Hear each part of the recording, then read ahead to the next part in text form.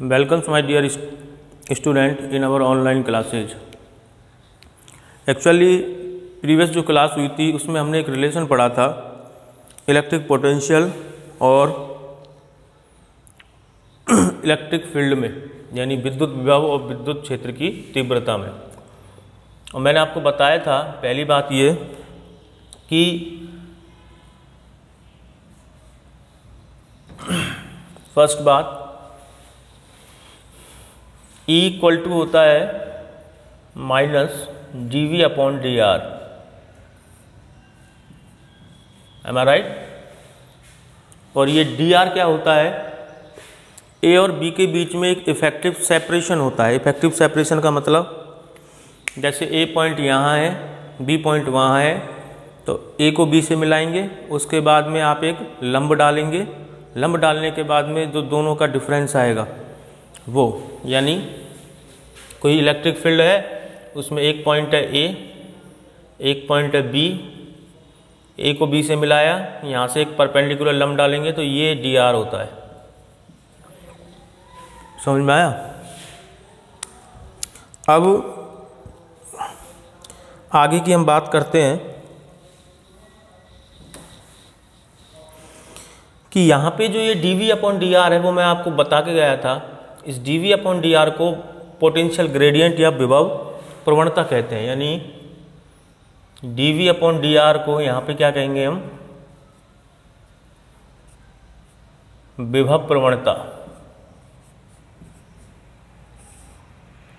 विभव में दूरी के साथ परिवर्तन की अधिकतम दर the rate of change in electric potential और मैक्सिमम रेट ऑफ़ चेंज विभव प्रवणता पोटेंशियल ग्रेडियंट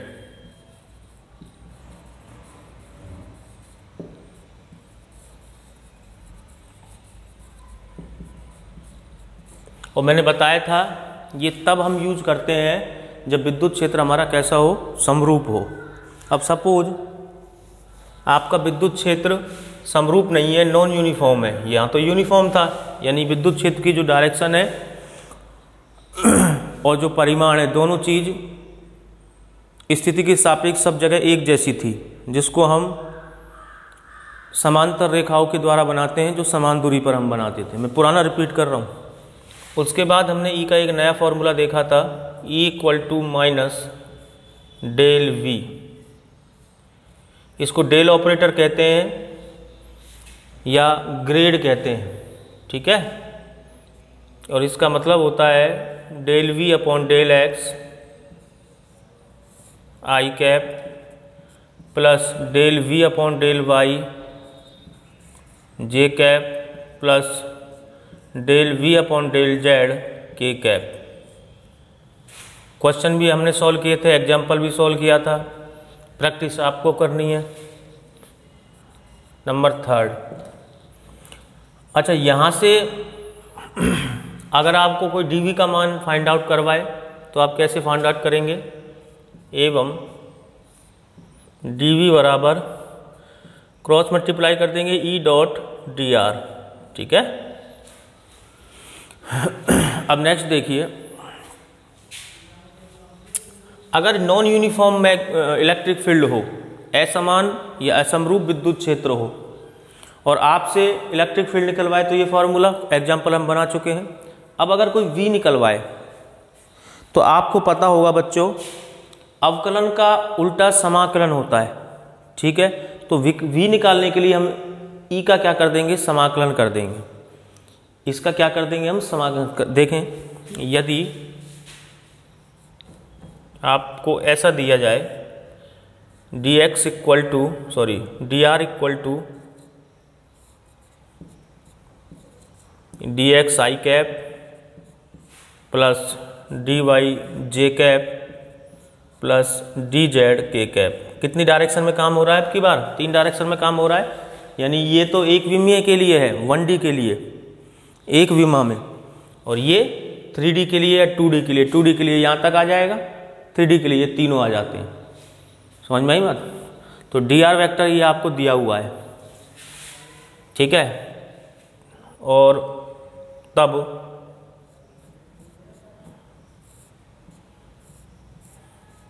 अच्छा और ई e है ई e वेक्टर है आपका क्या? इलेक्ट्रिक फ़ील्ड यानी विद्युत क्षेत्र।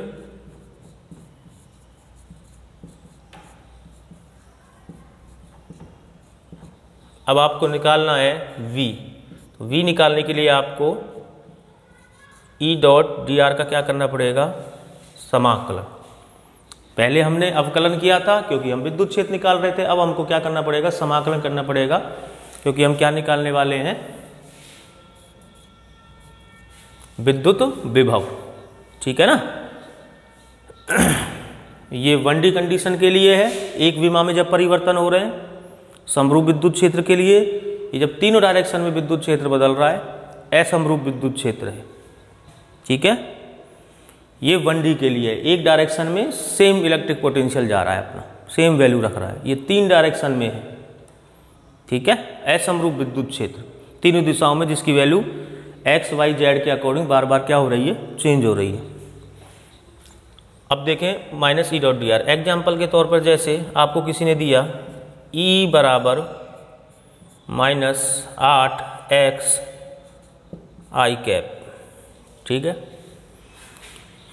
ये आपको दे दिया है। ई e बराबर माइनस आठ एक्स आई कैप तो आपको निकालना है यहाँ से v. एग्ज़ाम्पल से ज़्यादा बेहतर समझ में आएगा। क्या निकालना है? V. तो क्या करेंगे? V बराबर फॉर्मूला हमारे पास में e dot d r vector और डी आर वैक्टर का मतलब ये ठीक है? वैल्यू जमाओ माइनस ये माइनस तो हमारी तरफ़ से विभव प्रवणता की या पोटेंशियल ग्रेडियंट की मैंने आपको डायरेक्शन बताई थी सम विभव पृष्ठ के लंबवत और निम्न विभव से उच्च विभव की ओर।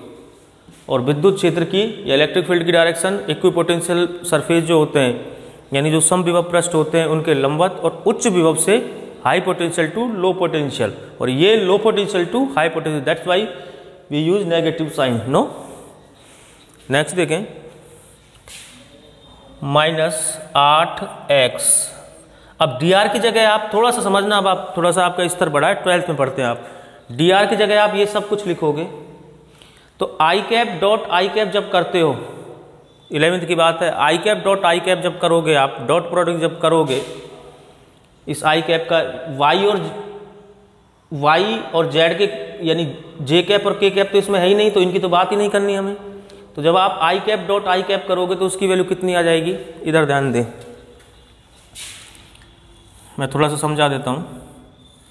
एक्स डायरेक्शन में हम एक अंक सदिश यूनिट वेक्टर लेते हैं आई कैप वाई डायरेक्शन में लेते हैं जे कैप और जेड डायरेक्शन में हम लेते हैं के कैप इन तीनों के बीच में जो एंगल होता है वो 90 डिग्री का होता है, ये आई कैप, ये जे कैप और ये ऐसे है, के कैप, यानी आई कैप, ये वाई कैप, सॉरी, ये आई कैप, ये जे कैप और ये के कैप। तो तीनों के बीच में आप देख सकते हैं एंगल, तीनों के बीच में कितने 90 डिग्री का। हमें डॉट प्रोडक्ट करना है।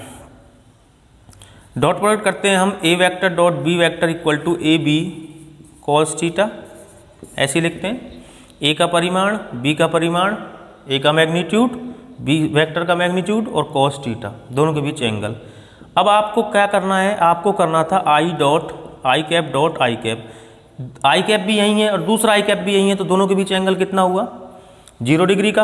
अब बेटा आई कैप का परिमाण यूनिट वेक्टर है एक अंक सदिश है वन होगा into one cos zero degree ठीक है? और कॉस ज़ीरो डिग्री की जो वैल्यू होती है, बताएँ जरा कितनी होती है? कॉस ज़ीरो डिग्री की वैल्यू वन होती है तो आंसर कितना आ जाएगा वन। लेकिन जब इनके साथ में मैं मल्टीप्लाई करूँगा i cap dot j cap या i cap dot k cap तो दोनों के बीच में जो एंगल आएगा वो 90 डिग्री का हो जाएगा और कॉस 90 की वैल्यू कितनी होती है ज़ीरो तो कुछ भी नहीं लिखा आएगा। इसलिए बस केवल यहाँ पे कितना आएगा? I cap dot i cap करोगे तो वन आएगा तो केवल कितना आएगा? माइनस का आठ। एक्स माइनस माइनस क्या हो जाएगा वहाँ से? प्लस हो जाएगा तो v इक्वल टू आठ बाहर आ जाएगा। एक्स का कैसे करेंगे इंटीग्रेशन पावर में एक जोड़ करके पावर को कहाँ लिख दें आप? कहाँ भगा दें? नीचे। भाई एक्स की पावर यहाँ वन है, उसमें एक पावर जोड़ा और कहाँ भगा दिया है? नीचे भगा दिया है। तो v इक्वल टू कितना आ गया? चार एक्स स्क्वायर ठीक है? कितना आ गया? V इक्वल टू चार एक्स स्क्वायर ये समझ में आया ना? आई कैप भाई डी आर वैक्टर की जगह आप ये सारा का पूरा का पूरा लिखोगे।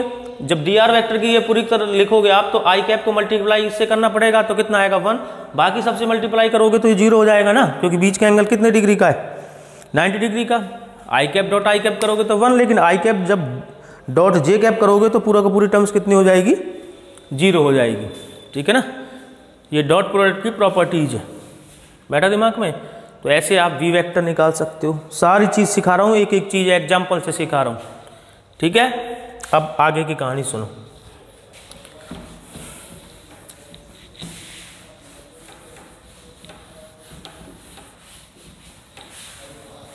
कुछ इंपॉर्टेंट नोट्स हैं जो मैं आपको बताना चाहूँगा। पहली बात।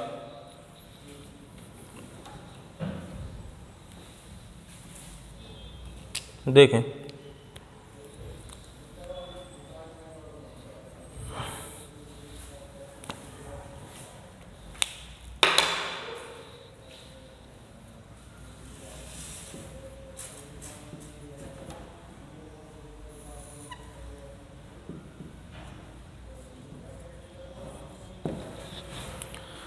अभी जो भी कुछ पढ़ा है, उससे हम सीखे क्या है? इंपॉर्टेंट बात वो देखिएगा ज़रा।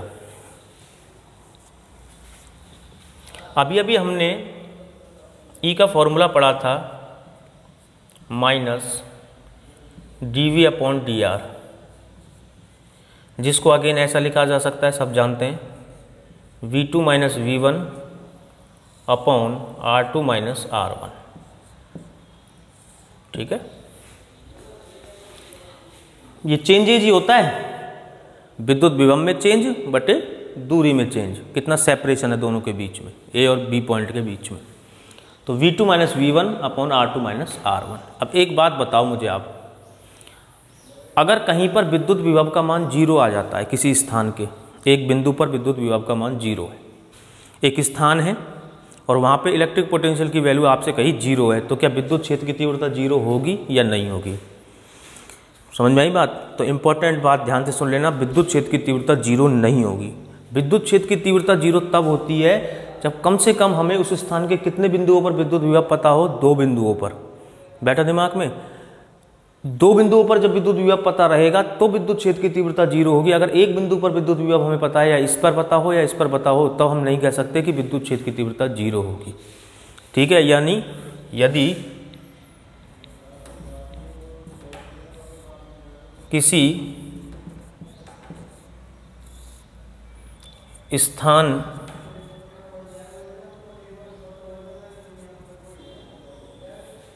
पर विद्युत विभव यदि किसी स्थान के किसी बिंदु पर विद्युत विभव शून्य है। समझ में आई? कितने बिंदुओं पर जानकारी होनी चाहिए? दो पर।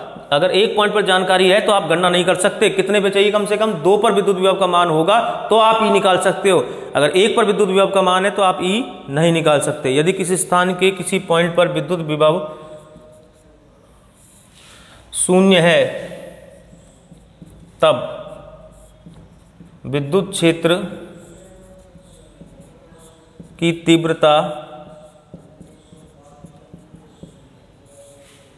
को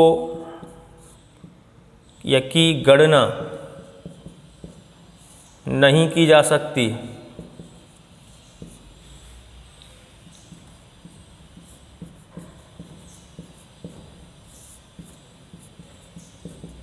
समझ में आई बात? विद्युत क्षेत्र की तीव्रता की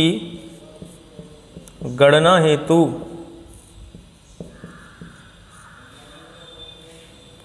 उस स्थान के कम से कम दो बिंदुओं पर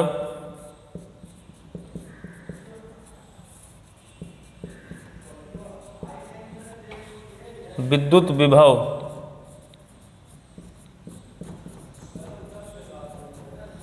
ज्ञात होना आवश्यक है। ठीक है ना? एक सिंगल पॉइंट पर आपको दे दे तो क्या आप कैलकुलेट कर सकते हो? आपको V2 का मान पता है V1 का नहीं पता तो क्या e निकल आ जाएगा? बैठा दिमाग में। और अगर उस बिंदु, उस स्थान के सभी बिंदुओं पर विद्युत विभव ज़ीरो आ जाता है, तब हम कह सकते हैं कि विद्युत क्षेत्र की तीव्रता ज़ीरो होगी। लेकिन एक सिंगल पॉइंट से आप विद्युत क्षेत्र की तीव्रता को नहीं निकाल सकते। जैसे आपसे कहा, एक पॉइंट पर विद्युत विभव ज़ीरो आता है तो क्या वहाँ सब जगह विद्युत क्षेत्र ज़ीरो होगा? तो ये गणना करना संभव नहीं है। कम से कम कितने पॉइंट चाहिए हमको? ज़ीरो। और अगर उस स्थान के सभी बिंदुओं पर विद्युत विभव ज़ीरो है तो फिर विद्युत क्षेत्र की तीव्रता ज़ीरो होगी। अब नेक्स्ट देखें। बहुत एक एक पॉइंट अपने आप में बहुत महत्व रखता है, ये ध्यान रख लेना इन चीज़ों को। पढ़ लेना एक अलग चीज़ होती है, इनसे सीखा क्या है वो तो देखो। अगला देखो। यदि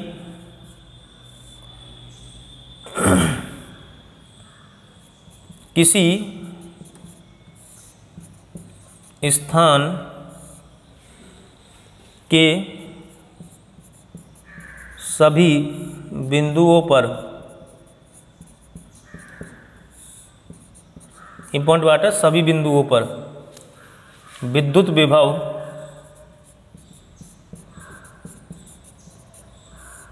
शून्य है।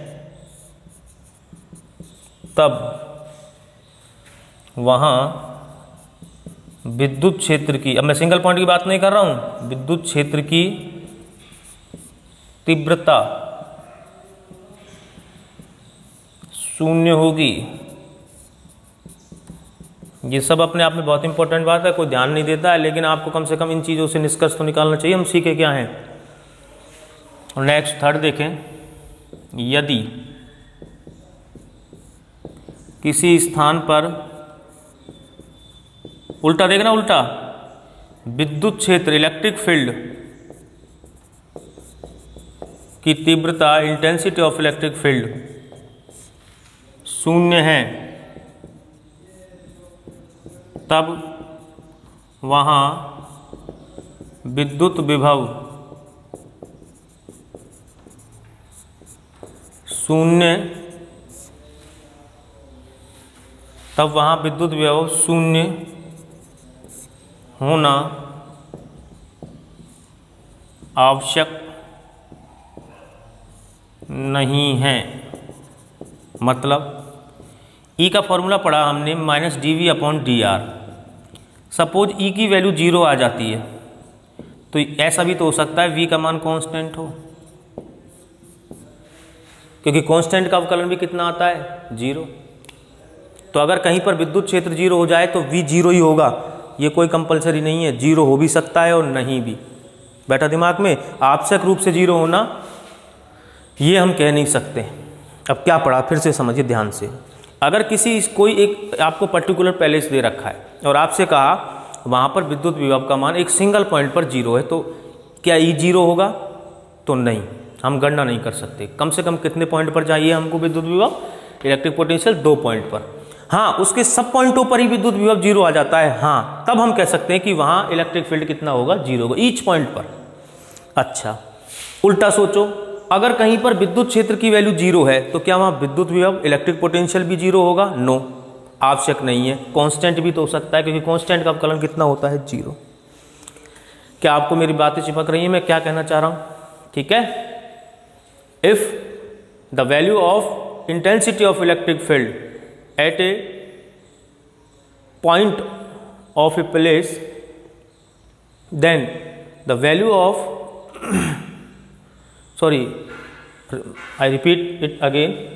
If the value of electric potential at a single point of a place then the intensity of electric field cannot be calculated. To calculate the intensity of electric field we require minimum we require the value of electric field sorry the value of electric potential at minimum two points of that palace place उसके बाद में if the value of electric potential at each and every point of a place then the intensity of electric field will be zero if the intensity of electric field is zero then the value of electric potential may be zero और not may be zero it may be constant. समझ में आई बात? तो क्या सीखे आप? एक स्थान है, एक जगह है, उसके एक पॉइंट पर आपसे किसी ने कह दिया कि विद्युत विभव ज़ीरो है। तो आप लपक के मत कह देना, वहाँ विद्युत क्षेत्र की तीव्रता ज़ीरो होगी। बैठा दिमाग में? आप उसे ये पूछना, उसके सभी स्थानों पर विद्युत विभव ज़ीरो है कि सिंगल पॉइंट पर ही ज़ीरो है? बैठा दिमाग में? और आपको ज्ञात करना है तो कम से कम कितने पॉइंट चाहिए? दो। बैठा दिमाग में? और अगर किसी ने ये कह दिया कि भैया यहाँ विद्युत क्षेत्र जो है वो नहीं है तो क्या विद्युत विभव भी नहीं होगा? गलत बात। समझ में आई बात? हो सकता है, क्योंकि उसकी वैल्यू क्या हो सकती है? कांस्टेंट हो सकती है। जैसे मैं आपको आगे बताऊँगा भी, हम एक कंडक्टिंग स्पेयर रहेंगे, जिसके पृष्ठ पर सारा का सारा आवेश होता है। इसलिए वहाँ विद्युत क्षेत्र तो कितना, ये क्या है? कंडक्टिंग स्पेयर चालक गोला। एग्ज़ाम में खूब पूछता है ये। कंसेप्ट क्लियर करो। कंडक्टिंग स्पेयर है, चालक गोला इसके अंदर विद्युत क्षेत्र की वैल्यू ज़ीरो है, पर विद्युत विभव कांस्टेंट होता है ज़ीरो नहीं होता। बैठा दिमाग में? तो लपक के मत कह देना, किसी ने कह दिया कि विद्युत क्षेत्र की तीव्रता ज़ीरो है तो विद्युत विभव भी तो ज़ीरो ही होएगा। क्यों होगा? ज़रूरी नहीं है, हो भी सकता है और नहीं भी। समझ में आई बात? कांस्टेंट भी हो सकता है। कुछ कहा नहीं जा सकता, वो कैलकुलेट करने के पर पता चलेगा। और कैलकुलेट करने के लिए मिनिमम कितने पॉइंट चाहिए? दो पॉइंट समझ में आई बात? तो आप ऐसा मत करना, ऐसा भी मत कह देना कि कहीं एक सिंगल पॉइंट पर विद्युत विभव जो है वो ज़ीरो आ जाता है तो वहाँ विद्युत क्षेत्र ज़ीरो होगा। नो ठीक है? बातों को क्लियर करके चलो। पहले पॉइंट में हमने सीखा था कि एक स्थान है, उसके एक सिंगल पॉइंट पर विद्युत विभव क्या है? ज़ीरो है। तो वहाँ विद्युत क्षेत्र की तीव्रता को गणना करना संभव नहीं है। कम से कम कितने पॉइंट चाहिए? दो। और सभी स्थानों पर विद्युत विभव ज़ीरो है। हाँ तो आप कह दें कि विद्युत क्षेत्र की तीव्रता ज़ीरो होगी। उल्टा सोचें, अगर कहीं पर विद्युत क्षेत्र ज़ीरो है तो क्या वहाँ पर विद्युत विभव ज़ीरो होगा? आवश्यक नहीं है। कांस्टेंट भी हो सकता है, क्योंकि कांस्टेंट का अवकलन भी कितना आता है? ज़ीरो आता है। एग्ज़ाम्पल मैंने बता दिया, चालक गोला। चालक गोले की पृष्ठ पर पूरा का पूरा आवेश वितरित रहता है, इसलिए वहाँ अंदर किसी तरीके का कोई आवेश नहीं होता, इसलिए वहाँ पर क्यों रहता है ये सब आगे की बातें फर्दर मैं आपको समझाऊँगा। इसलिए वहाँ पर विद्युत क्षेत्र जो है वो ज़ीरो आता है, लेकिन विद्युत विभव की जो वैल्यू है, वो कांस्टेंट आती है, पर ज़ीरो तो नहीं होती। आई बात समझ में? बहुत इंपॉर्टेंट पॉइंट्स हैं ये। अब आगे देखें बेटा। सोचना बैठ करके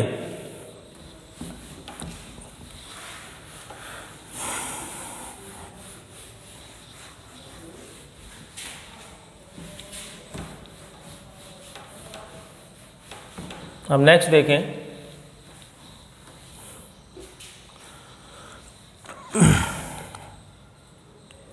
कि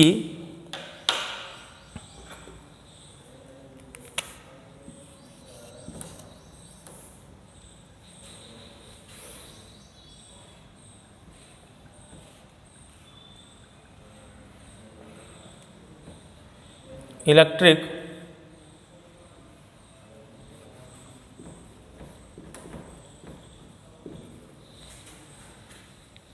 potential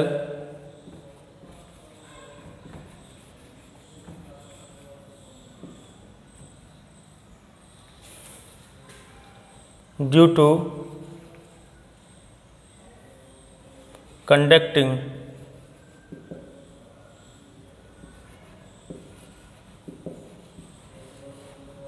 sphere ठीक है? यानी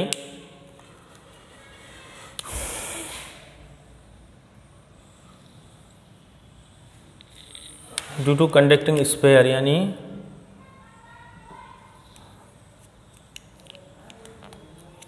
चालक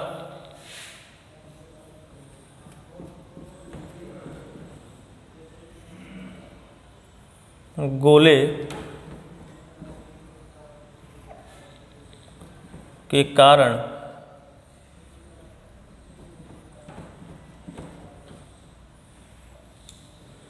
चालक गोले के कारण विद्युत विभव।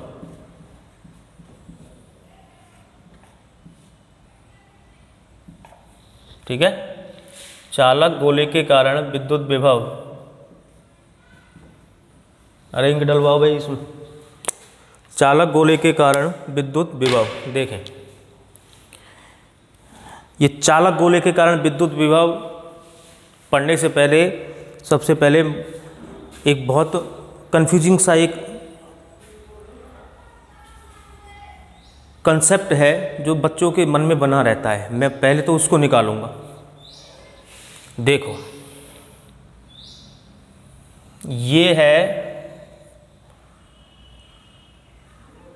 हॉलो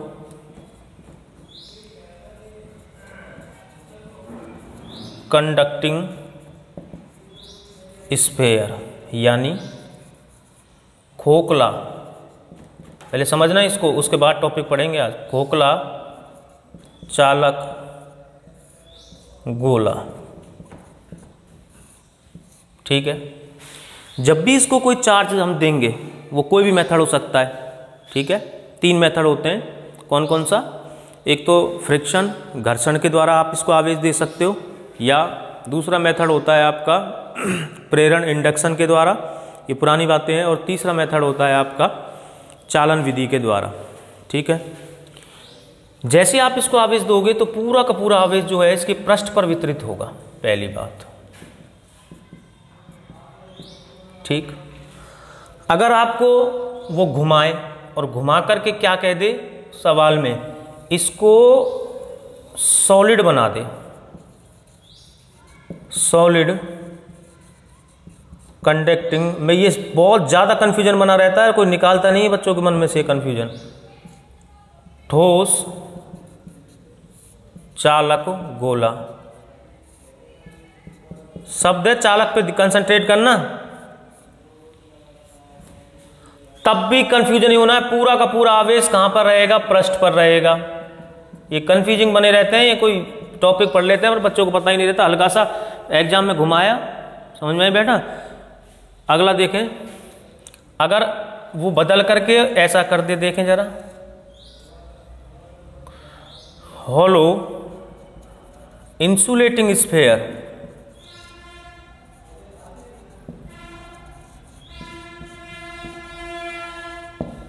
यानी खोखला, ध्यान देना, अब इसके अंदर कुछ नहीं है। खोखला कुचालक,